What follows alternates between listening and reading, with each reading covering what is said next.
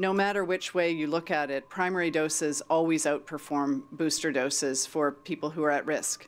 Um, the, the primary attention here has to be um, on assuring that everybody who um, has not yet had uh, a primary series of vaccination um, has access to that vaccine and gets vaccinated. We're in a two-track pandemic largely, um, with those who are getting disease or those who are unvaccinated um, for, for any dose.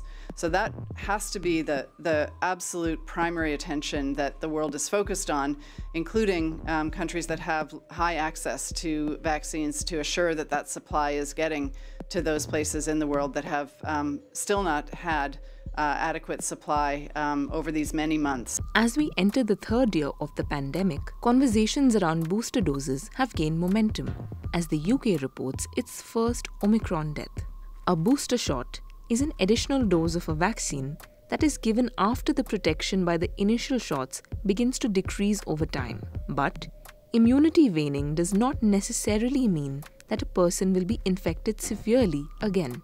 Even though antibodies and T cells decrease over time, the body's memory response will instruct the immune system to generate more antibodies in case of a reinfection.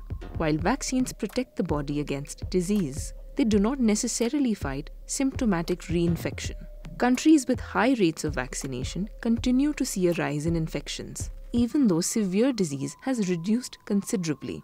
This is why it becomes more important to get two doses of vaccination on priority. Only 37% of Indians are fully vaccinated. So, chasing booster doses might mean depriving a major section of the population from their second or even first dose of the vaccine. Giving booster doses also depends on each country's health policy. The UK, for example, has given 20 million booster doses when the entire population is only 67 million.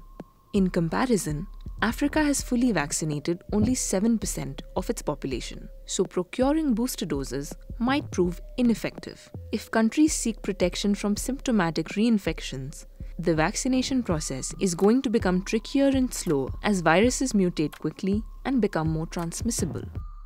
Somebody who got two doses of Covishield will not benefit very much from a third dose of Covishield.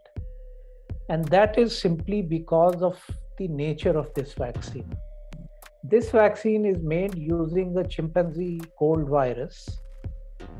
That virus is used to make the COVID spike protein. But that virus also has many proteins coming from the chimp virus.